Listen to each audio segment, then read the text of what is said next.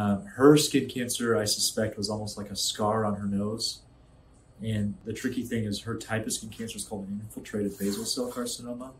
That type can be fairly insidious. It can grow beyond what you can see.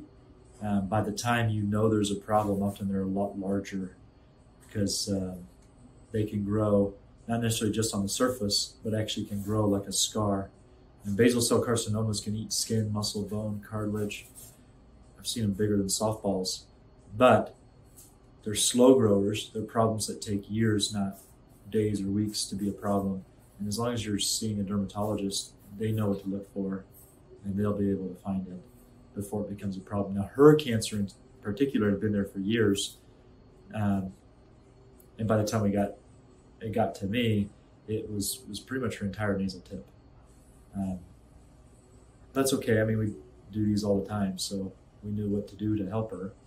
Certainly, probably bigger than she was planning on, but I think the outcome was good. Depending on when they're caught, we I've seen them as small as a pinhead to as large as a softball, and so uh, generally, if a basal cell is on the head or the neck, the Mohs micrographic surgery is approved and, and your insurance will cover it.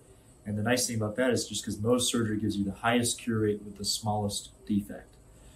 And so, depending on when it was caught, had it been caught earlier, certainly it wouldn't have had to be such a big deal in terms of how the, the footprint of the reconstruction. It would have been an easier day for her and certainly easier for her in the weeks to follow. It would have been a much smaller scar. But uh, by the time she got to me, that was kind of a foregone conclusion. It was what it was. We had to get it out. It took four stages, meaning she was here, and I we, to, we took a first layer of what we thought the tumor was. But with Mohs surgery, you're able to let the microscope guide you, so there's no guesswork involved. We check every cell of the margin, and we had to go back three more times for four stages until we got it all. The nice thing about that is well, I guess the downside of that is that it took four times, but the upside of that is that we know that the wound we got was the smallest it could possibly be to still give her a cure. And so that's the, the pro and con. And then as far as the, the bilobe uh, flap, that's the repair technique. There's lots of different things that you can consider. Anywhere from you can do flaps where you use local tissue, like a bilobe flap. That's by far preferred to use local tissue that still has a blood supply because it's going to match for color and contour. It's going to look the best.